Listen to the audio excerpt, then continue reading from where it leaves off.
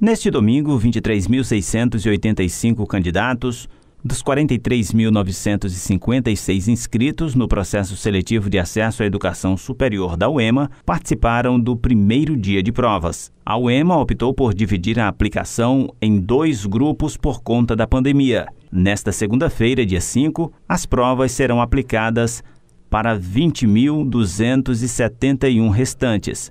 Neste domingo, os portões foram fechados às 13 horas e os alunos tiveram até às 18 horas para responder às 44 questões de múltipla escolha, mais a redação. Os estudantes que participaram falaram sobre a prova. A prova estava com um nível de dificuldade um pouco elevado, na minha opinião, mas é, quem, quem se esforçou e estudou vai conseguir sair bem principalmente na redação, né? Que a redação abrangia um tema da atualidade. Eu fiz para arquitetura e urbanismo e eu acho que eu fui bem, assim.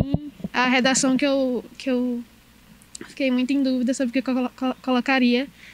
Mas, assim, no todo eu acho que eu fui bem, acho que eu conseguiria passar. Eu me esforcei bastante no decorrer da, dos estudos, né, lá na minha residência mesmo eu fui trabalhando essa ideia para me preparando para a prova da UEM. Eu acredito que vai ser bem interessante o resultado, mas eu gostei mais da redação. As provas foram aplicadas em 23 municípios do Maranhão.